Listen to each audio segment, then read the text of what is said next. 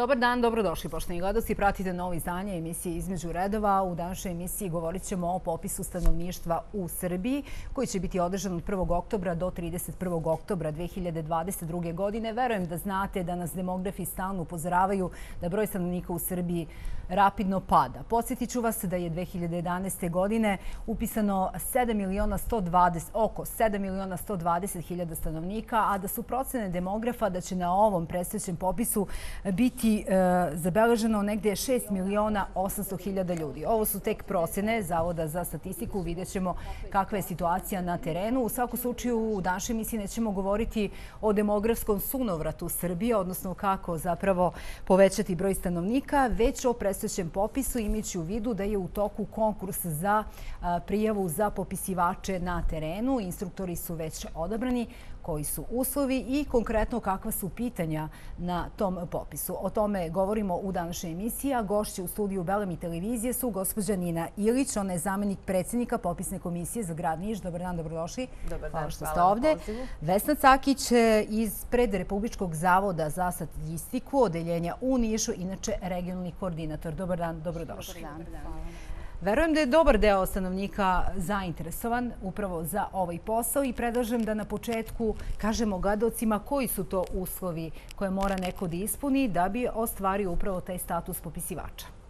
Uh, uslovi uh, da bi neko bio popisivač uh, jesu da najpre bude državljanin Republike Srbije, E, Također, e, svi građani Republike Srbije mogu da budu popisivači, e, svi punoletni građani koji imaju prebivalište na teritoriji naše zemlje.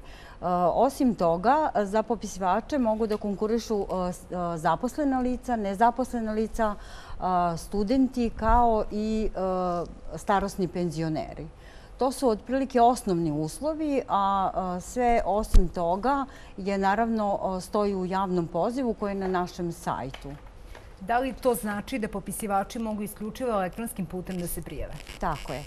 Popisivači mogu isključivo elektronskim putem. To je jedini način. Znači, klikom na link koji se nalazi na našem portalu mogu odraditi prijevu u vrlo kratkom roku, bukvalno je potrebno samo dva minuta da uđu i da popune osnovne podatke o sebi i tako će odraditi prijavu za konkurs Ko vrši selekciju i da li će nezaposlena lica imati prioritet? Nekako je logično, zar ne?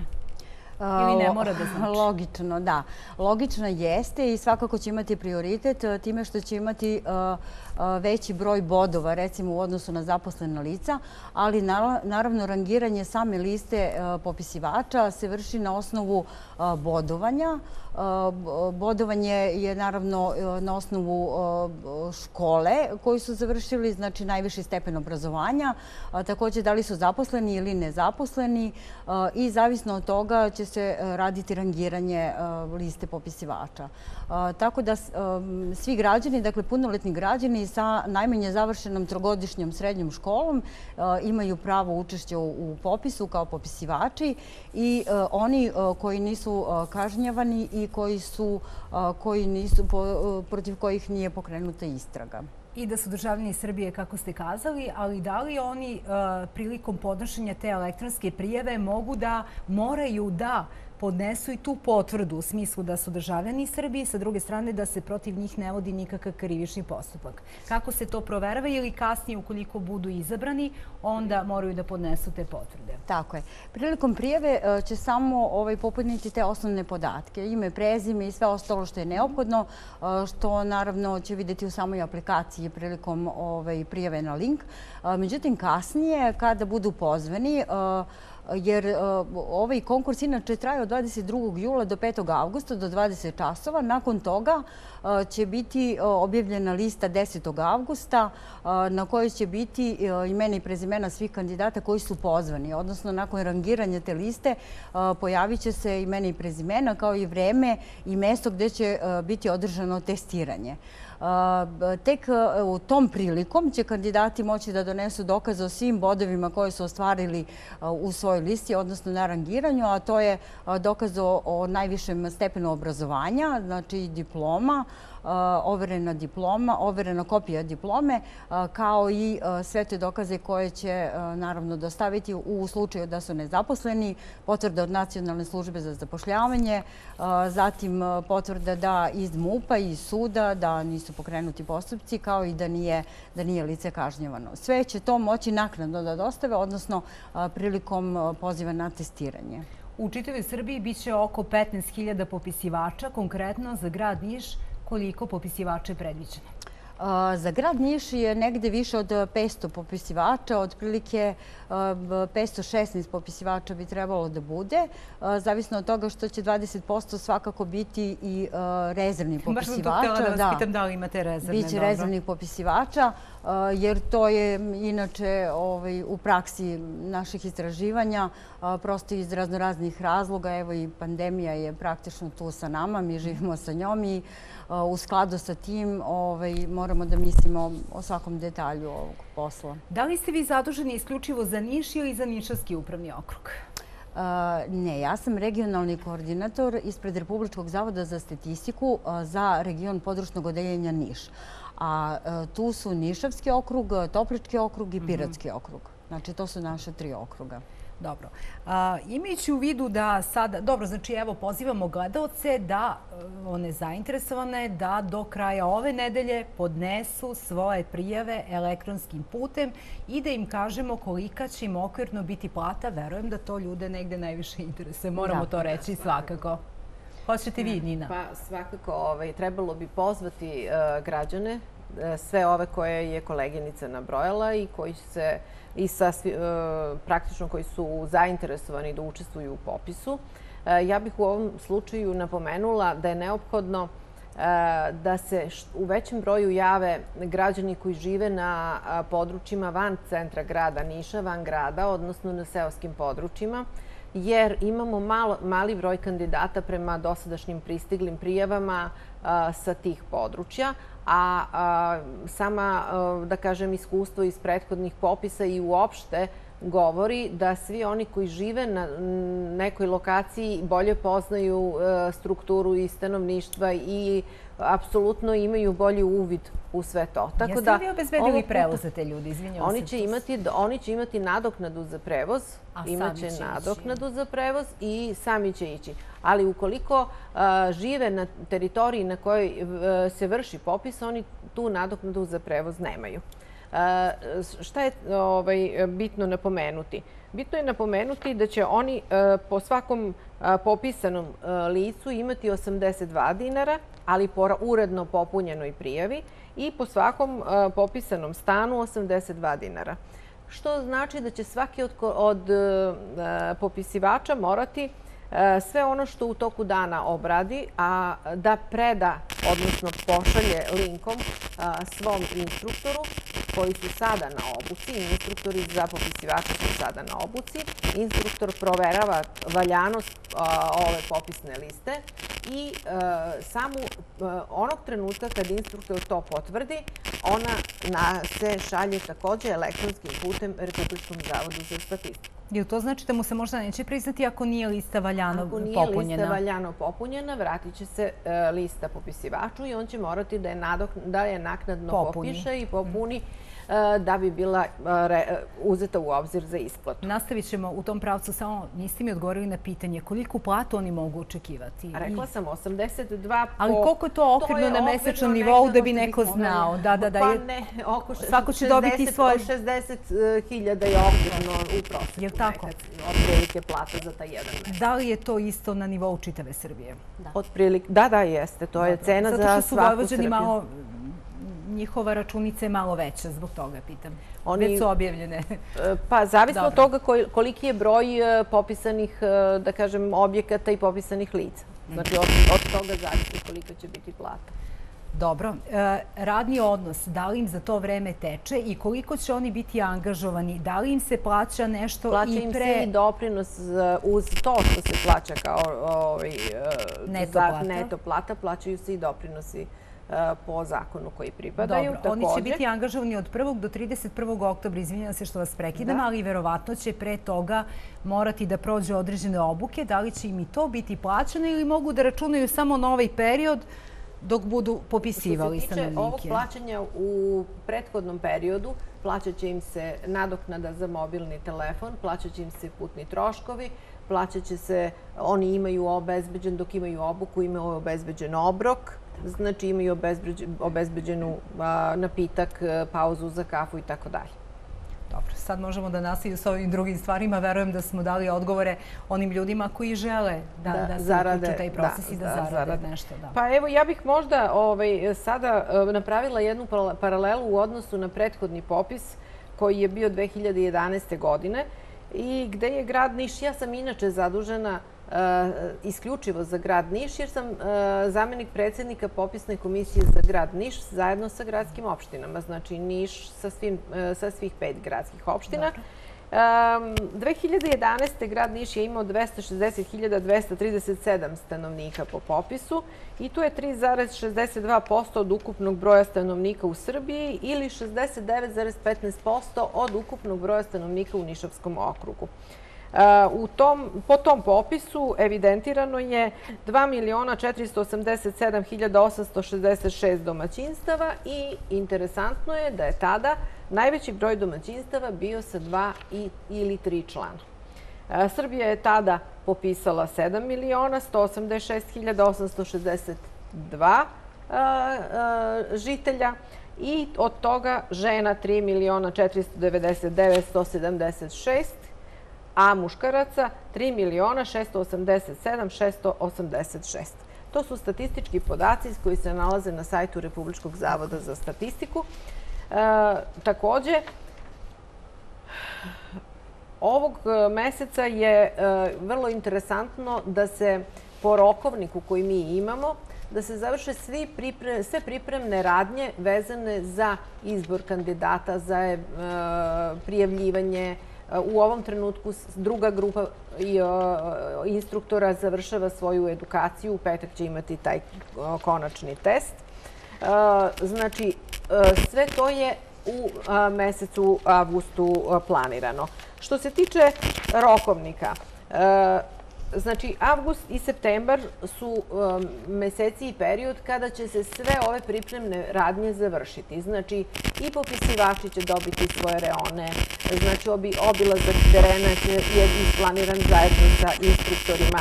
E, tako da 1. oktobra, kad zvanično krene popis, svi oni imaju jasno i precizno šta treba da rade na terenu. Dobro, zaboravili smo da kažemo da prema podacima Republičkog zavoda za statistiku ukupni troškovi popisa iznose 5 evra po stanovniku, od čega se deo finansira iz Republičkog budžeta, deo iz predpristupnih fondova Evropske unije i da po prvi put imamo elektronske upitnike. Da li to u praksi znači da ćemo zaista velikom brzinom dobiti i prve preliminarne rezultate? Da, to upravo to znači. Eh, ovaj popis, ja bih eh, sada napravila kratak osvrt, ako mi dozvolite. Znači, negde eh, sam početak popisa je neke 1834. godine, to je davno godina, davno neko vreme, kada se zapravo počeci same osnove popisa stanovništva i tada se to naravno sprovodilo na neki tada usklađen način. Umeđu vremenu je periodika popisa bila na pet godina, u jednom periodu, a nakon drugog svjetskog rata, zapravo od 1961. godine, je ta periodika ustavljena na 10 godina tako je i sada. Međutim, obzirom usled nekih dešavanja, kao što je to bilo u periodu kada smo imali situaciju bombardovanja, onda smo naravno imali odlaganje popisa stanovništva koji je umjesto 2001. godine održan 2002. Također i sada nam se to zapravo desilo u slučaju pandemije, tako da su to realno, ovaj, to je zapravo naša realnost i nismo samo mi odlagali popis, već mnogi zemlje u Evropskoj uniji. Međutim, ključno za popis stanovništva je to da je 2011. zapravo prvi popis kada je Republika Srbija samostalno imala svoj popis i ovo je sada drugi takav popis. U tom smislu ovaj, mi očekujemo da će prvi rezultati će svakako biti vrlo brzo, samim tim što je elektronski upitnik i što je naravno za razliku od prošlog popisa 2000 11. Kada su se zapravo popis se radio popunjavanjem papirnih upitnika i sve išlo mnogo sporije, tada se to unosilo nakredno u bazu, a sada imamo direktno slanje elektronskih upitnika putem sinhronizacije praktično svakodnevno. Tako da se prvi preliminarni rezultati očekuju uh, možda već u novembru, uh, s tim što će ovaj, uh, zapravo obrada tih podataka krenuti praktično 31. oktobra zvanično onda kada se unese posljednja popisnica, tada će se već krenuti sa obradom podataka. Naravno, ti podaci će se sukcesivno objavljivati mhm. uh, tokom uh, perioda, uh, da će konočni rezultati biti sada, po ovim sadašnjim rokovniku, negde juna 2024. godine. Zato što postoje obrada podataka koje će... Tako je. Mhm. Da li e, to praktično znači da će popisivač na licu mesta isključivo unositi podatke u svoj laptop ili će ipak i jedan upitnik popunjavati ručno ili ne? Ne. Znači, isključivo ću unositi putem laptopa, tako. Mhm, znači, to je znači, elektronski upitnik, nema ručnog unosa. Samo putem laptopa direktno se popunjavaju svi podaci vezano za domaćinstvo, za stanove, mhm. za porodice, za popisnice, za lice i tako dalje. Znači, sve je u elektronskom upitniku. Onda kada je to gotovo, kada je taj stan popisan ili ta zgrada, podaci će naravno ići na kontrolu kod svojih instruktora, odnosno instruktori će pratiti rad svojih popisivača, mhm. imaće uvid u njihov materijal koji su uneli tokom dana. Oni će biti na vezi sa svojim popisivačima za sve nedumice, oni će im telefonskim putem govoriti, davati instrukcije. Uvek će biti njima dostupni, znači jedan instruktor, sedam popisivača kad god se radi popis u Srbiji, uvek se e, građani pitaju da li će ti podaci biti upotrebljeni za ovo, ono i tako dalje. Da li je obezbeđena tajnost tih podataka da će biti podaci korišćeni isključivo u svrhe popisa. Tako je, a ne recimo, ne znam, za porezne imovinu ili ne znam već e, šta. Ne, ne, ne. Da to različimo. Ne, to je zakonom, to je zakonom zabranjeno i to zakon o popisu stanovništva jasno precizira zašto će biti korišćeni ti podaci isključivo u statističke svrhe radi analize i e, tih podataka od strane stručnjaka iz Zavoda za statistiku. Moramo da napravimo pauzu, gledamo reklame, a onda ćemo nastaviti. Pauza. Dobrodošli nazad. Pratite emisije između redova. Govorimo o predstavljećem popisu i u narednim minutima posjetit ćemo se i prethodnog popisa i otvorit ćemo to pitanje što koja su sada pitanja zastupljena na ovom predstavljećem popisu. Gošće u studiju Belemi televizije su Nina Ilić, zamenik predsjednika Popisne komisije za grad Niš i Vesna Sakić ispred Republičkog zavoda za statistiku odeljenja u Nišu, inače regionalni koordinator. Otvorimo i brojeve telefona za vaša pitanja, sugestije, komentare. Sve što vas interesuje u vezi popisa možete da pitate, mada možete da pitate i nešto drugo, nešto što nije vezano za ovu temu. Dakle, da sada e, otvorimo pitanje samog tog testa, da li je ovaj e, upitnik isti kao i onaj 2011. godine ili ima nekih izmena? Upitnik je isti. Mislim, sad podatke koje upisuju, u koji unose u laptopove podaci su isti kao i što su bili 2011. godine. Sa malom razlikom. Sa kojim razlikom? Sa malom razlikom, evo nadovezat će se obzirom da je to jel moj deo posla. Sada imamo jedno novo pitanje koje se odnosi na fertilitet muške populacije. Mhm. Recimo, mi to do sada nismo pitali za broj dece mušku populaciju. To je uvek bilo zastupljeno samo za lepši pol stanovništva. Međutim, ovoga puta ćemo pitati mušku populaciju e, za broj dece. Eto, to je sada novo saznanje, e, odnosno novo pitanje. E, također imamo i pitanje iz migracijonog dela upitnika gdje ćemo se baviti time kada su pojedini stanovnici Srbije recimo otišli u inostranstvo na boravak u inostranstvo. Mi smo se ranije bavili pitanjem, odnosno podacima, kada su se oni vraćali iz inostranstva, a ovoga puta je to malo drugačije. Imaćemo podatke o tome kada su u kom trenutku otišli iz Srbije u inostranstvo. Recimo, eto, to je novina što se tiče samih migracije i fertiliteta muškog dela stanovništva. Sve ostalo, pitanje su zapravo metodološki utvrđena i sve je usklađeno sa Evropskom unijom, odnosno sa standardima Evropske unije. To je jako važno. Ja bih to sad u ovom trenutku naglasila da je prosto jako bitno da se to ovaj, na neki način zna da su naši upitnici, da su popisnice i metodologija u osnovi zapravo usklađena sa standardima Evropske unije. Zašto je to bitno? Zato što ćemo ovaj, imati uporedive podatke. Onda kada je sve usklađeno sa određenim principima, onda ćemo moći da se upoređujemo sa ostalim zemljama, odnosno sa podacima iz popisa i drugih zemalja. I u tom smislu smo, recimo, korak ispred prethodnog popisa. Da, ja sam u uvodnom e, izlaganju e, kazala da upravo u Republičkom zavodu za statistiku su pre nekoliko meseci procenili da će na popisu biti 6 miliona 800 hiljada građana.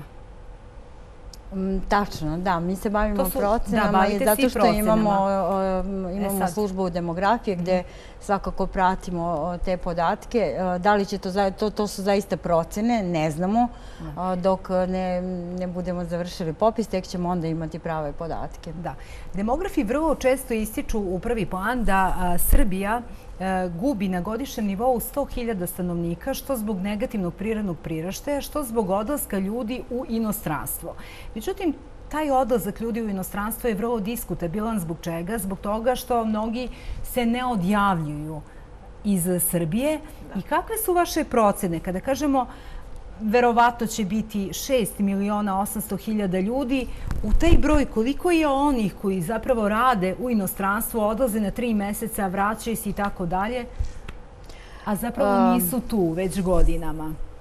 Da li na ovom popisu imate ta pitanja koja će negde te stvari konkretizovati, da znamo na čemu smo? Možda ne tako kako ste baš naveli po koliko meseci koliko su odsutni, ali svakako ćemo imati podatak kada su u kom trenutku otišli iz e, naše mm. zemlje u inostranstvo i e, zavisno od toga da li e, borave godinu dana i duže ili kraće od godinu dana, U svakom slučaju ne bih licitirala tim podacima zato što će prosto ovaj, nekako popis iskristalisati sve to. A popis nam je praktično na pragu. Znači, mhm. nadomak smo toga da imamo realne podatke, jer ovo o čemu sada pričamo jesu samo procene. Procene demografa, procene naših službi demografije i uopšte demografa koji se inače time bave nezavisno od toga da li baš rade u Republičkom zavodu za statistiku. Naravno, e, nažalost, e, prognoze su negdje sumorne. Pojedini demografi kažu da će nas 2050. godine biti 4,5 miliona ukoliko se nastavi ovakav trend. Ali to nije tema današnje emisije, već da napravimo dobru procenu koliko ljudi je u inostranstvu. Također, imamo e, dosta i onih ljudi koji imaju dvojno državljanstvo, recimo u Republici Srpskoj, je li tako, i srpsko državljanstvo. Znamo li koliki je njihov broj? Pa znaćemo. Mhm. sada u ovom trenutku ne možemo da kažem da pravimo procene, da pravimo procene u tom smislu, ali mhm. će ovaj popis pokazati i te podatke u tom smislu da znamo mhm. šta je to što mi, čime mi raspolažemo, odnosno kojim podacima raspolažemo kad je u pitanju e, građanstvo sa dvojnim državljanstvom. Da, evo ja ću samo reći da prema zvaničnom popisu u Republici Srpskoj 2013. godine e, bilo je 1.170.342 stanovnika. A kada je u pitanju Kosovo i Metohija, e, kako tu stvari stoje? Da li ćete tamo uopšte organizovati popis? Ne. Ne, definitivno. Ne, definitivno neće biti popisan na teritoriji Kosova i Metohije, obzirom da je situacija tako kako jeste. Uh, međutim, uh, šta će da li će se donositi neke odluke po tom uh, pitanju, to zaista u ovom trenutku ovaj, ne bih znala da kažem, ali ono što znam da neće biti onda kada se bude sprovodio na teritoriji Republike Srbije, bit će izuzeto teritorije Kosova Razumem, ali mnogi od njih recimo i žive ovde u Srbiji. Kako se oni definišu u samoj popisnoj listi? Kako ćete ih popisati? Oni imaju boravište u Srbiji i tako će se i definisati, tako će se i deklarisati kao sa mestom boravka prebivalište im je na drugom mestu prebivalište im je recimo na Kosovu ili u nekom gradu na Kosovu, ali je boravak prijavljen ovde i on ima ovde, ovde ima nekretninu, ovde živi. Jeste. Samo da čujemo gadoca pa ćemo nastaviti. Halo, dobar dan, izvolite. Dobar dan. Imam pitanja, recimo zainteresovana sam i pročitala da se isključivo prijava za popisivača vrši elektronski putem. Da. A usput piše da e, treba priložiti prijavu da niste osuđivani, da niste pod istragom. Kako ako se elektronski prijavljam? I drugo, da li je u obavezi da svako posjeduje laptop da bi mogao da bude popisivač ili će to neko već obezbediti. Malo detaljnije bi o tome htjela da vaši gosti govore. U redu, hvala vam puno, hvala.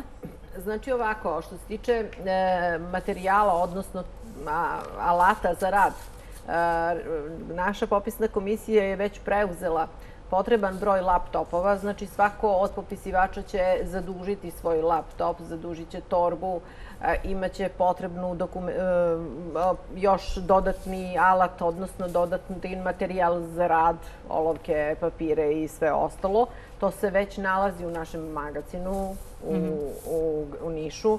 Eh, što se tiče prijeve, prijeva je online, ali nakon eh, pozivanja na razgovor, u trenutku pozivanja na razgovor, kao što je rekla koleginica, eh, potrebno je dostaviti fotokopiju lične karte, fotokopiju diplome ili overeno o stečenoj stručnoj spremi, uverenje o nekažnjavanju, uverenje da se ne vodi istražni postupak od suda, za nezaposlene potvrdu o tome da se vode na evidenciji službe za za zapošljavanje, za starostne penzionere fotokopiju penzionog čeka, fotokopiju rešenja o penziji, za zaposlene sa nepodnim radnim vremenu u fotokopije važećeg ugovora i potvrda poslodavca, za e, dodatno za zaposlene sa punim radnim vremenom također fotokopije važećeg ugovora i potvrda poslodavca, jer može neko da radi pre podne, a da želi da popodne iskoristi za popisivanje, što je i izvodljivo i moguće i dopustivo je. Mhm, dobro. Halo, dobar dan, izvolite. Halo, dobar dan. Dobar dan. Ja zovem, e, nije tema, e, ovaj, ali vidim da se uključuju gledoci, ovaj, htela bih samo nešto da vas zamolim. Izvolite. E, ovaj, da li možete da me uključite, jesam uživo? Da, da, u programu ste, izvolite, gospođa. E, znate šta, pitao bih vas jednu stvar. Kako mogu doći do gradonačelnice? Ja sam ovaj, bolujem od karcinoma. Lekar sam po profesiji suprug mi je e, ovaj, e, e, Eh, nastradao pre 17 godina, bio je direktor, osnovao je Zavod za hitnu medicinsku pomoć, otvorio dr. Ljubiša Jovanović, otvorio pet podstanica u Nišu, da bi se što pre stiglo pacijentu. Ja imam dva sina intelektualca. Jedan je doktorirao u Austriji, završio je arhitekturu, onda je u Austriji eh, branio doktorsku, uh, uh, nastavio doktorske studije Dobro, ali znate šta? u Austriji. Gospođo, hajde ovako, pošto želite da, da razgovarate sa gradonačelnicom, jel možete da ostavite broj telefona? Evo, kolega će zapisati vaš broj telefona, pa ćemo vas mi spojiti sa kabinetom gradonačelnice da, da vas ona primi pošto nije znači, tema ovo, znači današnja tema, ali znači, ostavite broj telefona pa ću vas ja nazvati nakon, nakon završetka emisije. Imajući u vidu da se ljudi baš interesuju za ovo, znači ponovit ćemo da u principu ova papirologija nije neophodna prilikom same prijave, već kasnije kada kandidat bude bio odabran, onda će on morati da podnese tu dokumentaciju kada bude došao na razgovor. A u kom vremenskom roku će biti doneta oduka i na koji način će ona biti saopštena kandidatima? Verovatno putem telefona? Kandidati će e, imati, e, postoji period testiranja kandidata, pošto će biti veliki broj kandidata, odnosno neće moći u jednom danu. E, taj period stoji od 13. do 19. augusta, će se obaviti testiranje svih popisiva, odnosno kandidata koji su konkurisali za popisivače i u tom trenutku... Testiranje rada na računaru. Aha, Oni će imati testiranje rada na računaru, da. To testiranje je prosto obavezno. Ja bih rekla da su to zapravo osnove rada na računaru koji će morati svi da imaju praktično jer u suprotnom neće moći da učestvuju u samom popisu. Dakle, ukoliko neko ne ume da radi na računaru ili se ne snalazi dobro, on svakako neće moći da radi sam popis. Znači, to ne bi trebalo da ljudi shvate kao nekakav vid diskriminacije, prosto to je način rada. Znači, popisivač je zapravo to nije zanimanje. Da bi neko bio popisivač, mhm. mogu samo kratko da kažem o tome, trebalo bi da zapravo njegov posao se sastoji u tome da putem laptopa, odnosno da u elektronskom upitniku unese podatke, time što će svakako ići na teren, od kuće do kuće, posjetiti svako domaćinstvo, upisati sve podatke svih članova u tom domaćinstvu, u njihove porodice, popisati domove, znači kuću u kojoj žive ili stan u zgradi, celu zgradu i tako dalje. To je zapravo njihov posao i putem unosa u elektronski upitnik i slanjem, sinhronizacijom tih upitnika gde će oni na taj način biti poslati u bazu. Eto, to je zapravo posao samih popisivača, ali da bi to radili moraju da imaju osnovno znanje rada na računaru. Sve ostalo je naravno deo obuke koji će oni imati i to u periodu od 29. augusta do 16. septembra. Biće petodnevna obuka, zavisno od toga u kom terminu će biti, ovaj, oni će o tome biti obavešteni svakako. E, da li postoje neka pitanja koje nisu obavezna? Ranije je bilo reč o tome da veroispovest ne mora da se e, kaže na popisu. Nisu obavezna u mhm. tom smislu da popisivači svakako postaviti, ali ljudi nisu, odnosno stanovnici nisu u obavezi da daju odgovor na ta pitanja. Je to jedino pitanje ili postoje još neka pitanja na koja ovo nije neophodno? Nacionalnost i veroispovest, mhm, da. Dobro, a ostala pitanja su obavezna, je li tako? Jesu, obavezujući. Imamo gledalce na linih? Ne, ipak ne. Dobro, kada su u pitanju migracije, mislim da je to nešto što najviše interesuje e, gledalci, imajući u vidu da imamo velike unutrašnje migracije i sa druge strane i spoljašnje migracije, ali o tome smo govorili. Na koji način će se proveravati e, upravo ta oblast? Kojim pitanjima na testu? Pa što se tiče migracija, postoje, znači, e, svako od e, građana će morati da se legitimiše. Znači, gde iz postoje lične karte koju će pružiti na uvid e, svakom popisivaču, vidjet će se gde je živi, gde mu je prebivalište, gde je rođen i tako dalje, da li je umeđu vremenu se preselio, da li je prijavio prebivalište na jednoj adresi, a nalazi se na drugoj, postoje i takve situacije. Mhm. Znači sve će to e, biti evidentirano u tim popisnim listama, odnosno u bazi podataka koju će mhm. popisivači ovaj, pripremati na terenu. Verovato će biti slučajeva gde recimo ljudi žive u Beogradu ili Novom Sadu da zapravo nisu prijavili boravište tamo. Kako će se to definisati? Imate takve slučajeve, zar ne? Imamo takve slučajeve, ali to je terenski rad. Znači, onog mm. trenutka kad se na vrata i naš popisivač uđe u kuću, on ne zna koga u tom domaćinstvu može da očekuje. Može da očekuje... Da li su svi u obavezi da prime popisivače, da to nagasimo? Naravno, zakonske obaveze. U zakonske obaveze, mhm. da. On će, primit će popisivača. E sad, e, opet malu digresiju da napravimo. S obzirom na situaciju sa kojom živimo u zadnjih ovaj, od 2020. pa mm, do sada, i zbog toga što se mnogi boje e, COVID-a, korone, zaražavanja i tako dalje, mi smo preduzeli sve mere zaštite i popisivača i stanovništva, tako da e, pravit će se distance, e, nosit će se maske na terenu i tako dalje, dezinfekcija ruku i sve ostalo, to je sve pripremljeno, to će sve biti upotrebljeno u vreme popisa, tako da naši građani zbog toga ne moraju da brinu. A da odgovorim na ovo pitanje što ste pitali malo časa, znači popisivač kad uđe u kuću, on ne zna koga će zateći. Ne zna ništa. Znači on kreće od nule, praktično kreće od toga ko tu živi, dajte da vidimo ko je tu na toj adresi, lična karta jednog, drugog, maloletna lica, stara lica i tako dalje. Mislim, sve će to u svakom slučaju biti različito i zavisi od slučaja do slučaja. Ništa ne može biti uniformno i ovaj, da znamo, e sad će to očekujemo u tom stanu da nađemo recimo petoro ljudi, a u stvari možemo da nađemo A koliko vremena je potrebno za popunjavanje jednog upitnika? Mogu ja da... Možete, slobodno, da. Za popunjavanje jednog upitnika, sad opet ne možemo to da stavimo neko vreme, morali bi da bude okvirno, da, zato što taj upitnik, zavisno od toga koliko članova ima u domaćinstvu, smatra se da je negde prosek 20 minuta, mhm. da bi to bilo možda idealno vreme.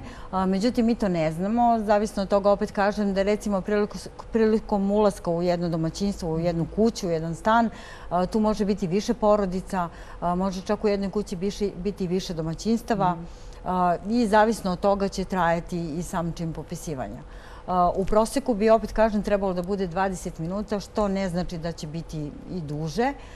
U svakom slučaju, ispitanici bi morali, odnosno stanovnici moraju da odgovore na sva pitanja i popisivač mora uredno da popuni sve podatke vezano za stan, za domaćinstvo, za porodicu, za pojedinačno svakog člana te porodice i tog domaćinstva.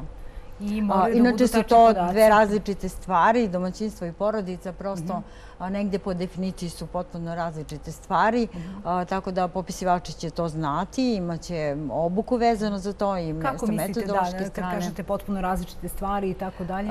Pa različite u tom smislu što u jednom domaćinstvu možete imati više porodica, mhm. jednu ili više porodica, a možete imati i domaćinstvo koje nema porodicu. To su obično samačka domaćinstva, ili jednostavno domaćinstva koja prosto nemaju porodicu. Znate, porodica jesu... Govorite o jednom članu, je li tako? Govorite možda o bakama, dekama koji žive u nekom ruralnom području. Tako je, o bratu i sestri koji žive zajedno. Recimo, brat i sestra koji nisu porodica, ali jesu domaćinstvo. Porodice su brašni partneri sa decom, bez dece ili jedan samohrana majka sa decom ili otac sa detetom i tako dalje. A domaćinstvo je zapravo, su članovi domaćinstva oni koji su ekonomski zavisni mhm. I koji praktično žive zajedno u smislu da zajedno plaćaju svoje račune, da zajedno obavljaju sve ostale funkcije potrebne za domaćinstvo od ishrane i tako dalje namirnica, kupovinu namirnica, ali zato nije nužno da u tom domaćinstvu postoji i porodica. Jasno. I sad se tu otvorilo nekoliko pitanja, ali dajte da prvo ispoštujemo gledalce. Mada vidim kolege već ugasio sve to, izgleda da se završava emisija. Halo, dobar dan, izvolite. Dobar dan. Dobar dan. Ja bih pitao vaše goste e, u studiju u vezi popisa zašto nema e, popisivanje ovih invalidnih lica. Ima? Kako mislite nema? Pa nema, prošli popis, preprošli, ja sam, na primjer, jedno od invalidnih lica, tamo uopšte ne postoji nikakva, bar nisam ja, nije bilo postavljeno pitanje. Pa verovatno nisu došli u pravo vreme onda kada ste vi bili kod kuće, inače u obavezi su da... Bio sam prisutan tu kad je došao čovjek koji je popisivao. Dobro. I ništa nije, ne znam ja da li uopšte se zna koliko ima invalidnih lica na nivou Srbije ili u Nišu, osim preko ovih udruženja ovih penzionera invalida i to, ali mislim da to nije u redu, to bi trebalo država ili republika da zna koliko ima invalidnih lica. Da, evo čućemo sad, hvala vam puno, ko može da odgovori? Pa, pa u okviru, u okviru popisnice postoje pitanje da, da li ljudi imaju poteškoće sa sluhom, vidom, to naravno popisivač će popuniti mhm. onako kako budu građani sami odgovoreni na to. Znači, popisivač je u obavezi da ne unosi svoja zapažanja, nego baš upravo onako kako mu ovaj, ispitanici sami odgovore na to. Znači, postoje određena pitanja mhm. u samoj popisnici sad ne znam na što je konkretno mislio za invaliditet. Dobro, da kažemo, Vladosu da je posljednji popis bio 2011. godine i da kada se radi popis stanovništva, znači popisivači idu od jednog do drugog domaćinstva i u obavezi su da bukvalno svako domaćinstvo i svako lice popišu. Popišu i svako lice. Kategorije invalidnosti su različite. Mhm. E, polazimo i od toga da nije svaka invalidnost mhm. e, jednaka i zato i treba definisati praktično vrstu i stepen invalidnosti. Da, i ja sam pitala u nezvečnom razgoru da li sada imamo neka dodatna pitanja na popisu e, kako bismo prosto znali i kakva su primanja i kakav je standard e, stanovništva i tako dalje. Da li se iz popisa u popis e, razlikuju određena pitanja? U redu postoje stereotipna standardna pitanja koja negde definišu uopšte stanovništvo u Srbiji, ali sa druge strane svaki popis može dati milion odgovora, je li tako, o određenim stvarima. Tako je. Ono što je osnovno vezano za metodologiju popisa je to da smo morali da se uskladimo sa standardima Evropske unije i to je, da kažem, osnova svega, obzirom da se popis inače finansira. Ja sada mogu slobodno da kažem da recimo 60% iz naših državnih resursa, a 40% je iz Evropske unije odnosno komisije koje su na našoj teritoriji e, iz e, IPA projekta 2018. godine. E, u skladu sa tim, nakon tog usklađivanja sa Evropskom unijom, svakako da imamo i pitanje od nacionalnog značaja. Ali u okviru popisnice postoje određena pitanja koja se neće baviti konkretno ko koliko platu prima u tom smislu. Postoje druga istraživanja koje se time bave u Republičkom zavodu za statistiku, ali svakako imat ćemo... Ovaj, ja sam ovo navela kao primjer, ali vi možete postaviti milijon i drugih pitanja na osnovu kojih možete Da, naravno, ima dovoljno pitanja, ali svakako moramo da vodimo računa o tome da sve to bude usklađeno, da bude prikladno, da ljudi mogu da u određeno vreme odrade te popisnice, tako da znaćemo ko gde radi, u kom preduzeću, na kojoj lokaciji. za grejanje, na primjer. Ima, tako je, tako. To su osnovne stvari, tako da svega toga će biti. Da li u zgradi ima gasa ili električne energije, od kog materijala je ta zgrada, ta kuća ne, da. Ne, automobilima ne, ali svakako kretanje, odlazak na posao, da li idu automobilom ili možda koriste javni prevoz. Ili se peške. To je. Možda bi kratko se osvrnula na migracije. Ono što ste malo čas pitali, migracije u samom popisu, u samoj metodologiji su zapravo jeste seljenje stanovništva iz nasilja. To iz određenog nasilja u drugo nasilje. To bi u smislu, recimo, kada je grad Niš u pitanju, onda bi to bilo kao prelazak, e, recimo, iz sela u gradski deo naselja ili iz gradskog dela naselja u selo. Tu su te neke osnovne migracije, osim onih migracija koji su, naravno, na teritoriji Republike Srbije e, između ostalih gradova ili opština. Međutim, Imaćemo također e, pregled toga, zavisno od toga kada je zapravo lice se posljednji put preselilo Eh, odnosno taj podatak se unosi kada se posljednji put koje godine eh, se preselilo, odnosno došlo u mesto popisa eh, gde se sada popisuje, recimo. Eto, to će biti taj podatak. Također i podatak mesto rođenja majke, odnosno gde je majka živjela u trenutku kada se lice rodilo. A zašto vam je to potrebno? Da, videla sam to na tom testu. Samo da kažem da su testovi već vidljivi i da ih možete naći na sajtu... Popisnice. pardon, na sajtu Republičkog zavoda za statistiku. Testovi nisu vidljivi. Testovi služe za testiranje kandidata. To ništa nije tako vidljivo. Pitanje na popisu, da, da. Zbog čega vam je potreban odgovor na ovo pitanje gde vam je majka živjela? Pa e, svi ti podaci su zapravo realno potrebni zbog e, baš tih podataka migracije stanovništva da bismo znali. Jer recimo evo konkretno... A zašto negdje je otac živao? Zašto bi je majka živao u trenutku rođenja? Zato što je e, majka ona koja je rodila tog stanovnika.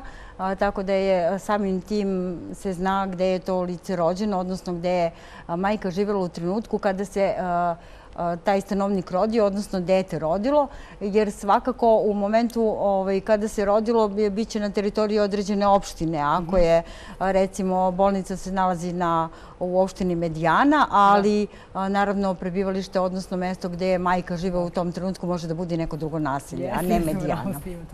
I za kraj samo da pozovemo gledalce, znači do kraja nedelje. Gledalce da se do kraja nedelje jave. Ja bih posebno pozvala gledalce iz e, okolnih naselja mhm. da se jave s obzirom na to da smatramo da će oni više doprineti ukoliko se jave za odnos teritoriju na kojoj žive i gde poznaju svoj teren, svoje stanovnike svoga mesta i tako dalje. Primjera radi, lakše će neko popisati stanovnike u Malči ako je iz Malče, nego ako je sa teritorije Palilule, recimo. Jeste. Tako je. Mnogo vam hvala na učešu u današnjoj emisiji. Pratit ćemo svakako vaš rad i nadam se da ćemo prvi objaviti prve preliminarne rezultate. Hvala vama. Hvala vama. Hvala Poštovni gledoci, gošće Bela mi televizije danas bile su Nina Ilić, zamenik predsjednika popisne komisije za grad Niš i Vesan Sakić, regionalni koordinator Republičkog zavoda za statistiku. U pitanju je odeljenje u Nišu. Osim ti dalje, uz program Bela mi televizije vidjet ćemo se ponovo sutra u 18.15. Prijetno.